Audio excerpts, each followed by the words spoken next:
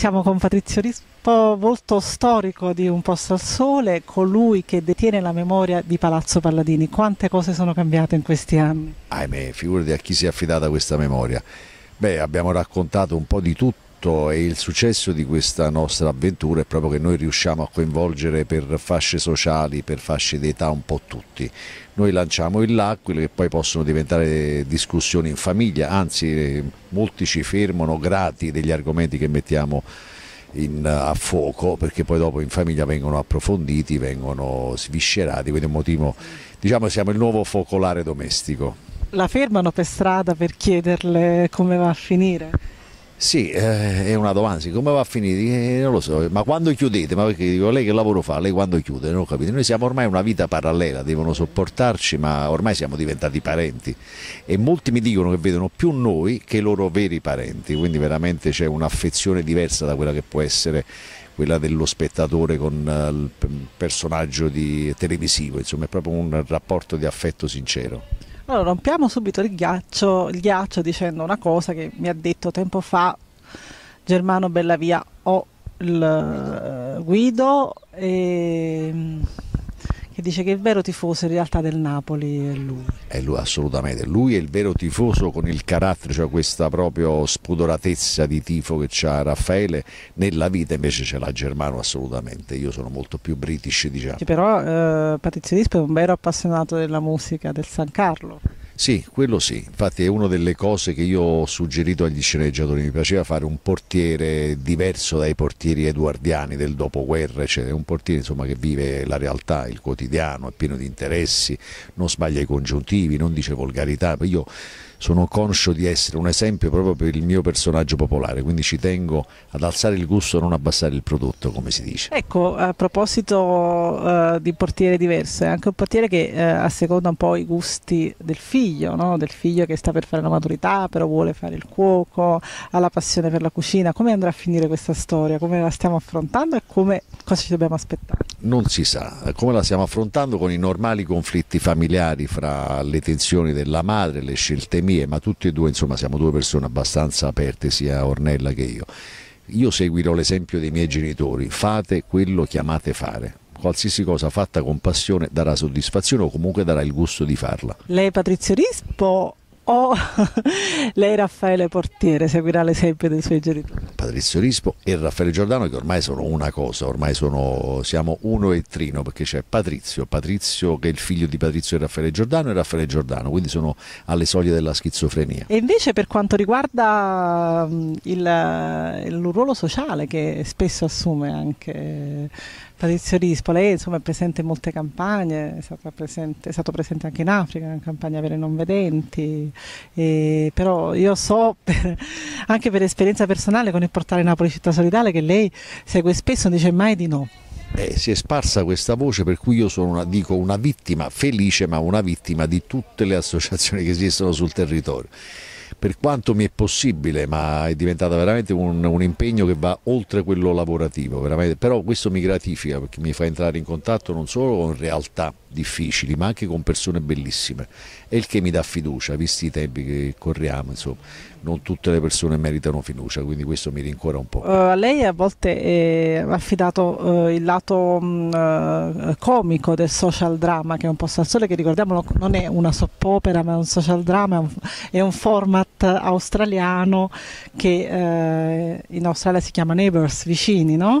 ed è ambientato a Melbourne, e invece qui da noi ha tre caratteristiche, c'è il lato comico, il lato social e il lato sentimentale. Ecco, se invece se lei dovesse scegliere di raccontare anche qualcosa di sociale in un posto al sole, cosa sceglierebbe? Ma noi lo raccontiamo sempre, anzi la cosa bella di questo prodotto è che non solo noi attori siamo tutti più o meno impegnati nel sociale, ma riportiamo all'interno delle storie con una grande attenzione e della produzione che degli sceneggiatori queste storie all'interno delle nostre storie.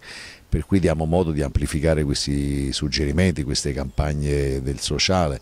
Questo è un grande merito di Un Posto al Sole che tu considera soltanto che quando facemmo una, una sensibilizzazione per la donazione del, del sangue ci fu un'impennata del 35% di donazioni, che avemmo un grandissimo ringraziamento dall'Avis Per cui questo ti fa capire quanto siamo importanti, più ce ne rendiamo conto, più ci teniamo a far sì che questo avvenga. Se eh, dovessimo fare un, un, invito a guardare un al sole oggi, sappiamo che un al sole ha raggiunto il 9% di share, che, insomma, è, di questi tempi è molto. Però se dovessimo dire a uno spettatore medio che non lo vede un posto al sole, che non lo guarda tutte le sere, lei che cosa gli direbbe? Ma invece di leggerti il giornale, guardaci, raccontiamo la realtà e diamo degli spunti di aggiornamento su tutti gli argomenti importanti del, del momento. Per cui guardatelo, bene o male, anche perché per come siamo fatti, uno capisce subito se c'è una storia da seguire o meno e chiunque trova la storia a lui vicino, per cui diventa un motivo di discussione, di trasversalità, lo vedi col figlio, con la nonna, eccetera. È un momento di aggregazione, non te la perdere. Questa sua famiglia in un posto al sole rimane solida, ci possiamo sperare? Fare? Beh, deve rimanere solida per contratto, noi siamo proprio i buoni, siamo i buoni sentimenti, la morale, anzi io alle volte temo questa, questa giustezza della mia famiglia, infatti vorrei, anzi io con la mia testa ogni tanto rompo proprio con la commedia, ma se no siamo proprio i portatori, a me non è concesso, il tradimento non è concesso, io devo, portare, devo essere di esempio e sono felice di esserlo. Patrizia Dispo, quanto improvvisa sul set? Molto, ma perché così come cucino, a me mi annoia eseguire ciecamente, io non posso non tener conto di un frigorifero, allora parto col fare la genovese, ma se ho altre cose le metto dentro sapendo usare l'armonia di, degli ingredienti e così è sul set, io non posso tralasciare un errore, cioè io adoro quando succede un errore, un inghippo, un problema del compagno, dico non ti fermare mai, andiamo avanti, sono i momenti più veri della cosa. Ecco, a proposito di piatti, se dovessi paragonare un piatto, che cosa sarebbe un posto al sole? Beh, un minestrone, c'è di tutto e di più, sano, genuino e onesto. Ma è vero che lei è così appassionato di cucina? Sì, assolutamente. Quindi eh, insomma possiamo fare questo binomio Patrizio-Raffaele, veramente. Il libro, lo sapete, esiste un libro, Un passo al sole si chiama, e lì sono sole, tutte sì. ricette di casa Rispo, non quelle napoletane, quindi ci sono tutte le contaminazioni possibili e immaginabili. A parte che sono il cuoco qua del, del, gruppo, per cui sono felice di ricevere a casa mia, avere loro che è la mia seconda famiglia, se non la prima ormai, perché è più, è più longeva della mia originale, quella di Un posto al sole. Ecco, allora facciamo così, spieghiamo un segreto ai nostri eh, ascoltatori, spettatori, cioè, la genovese.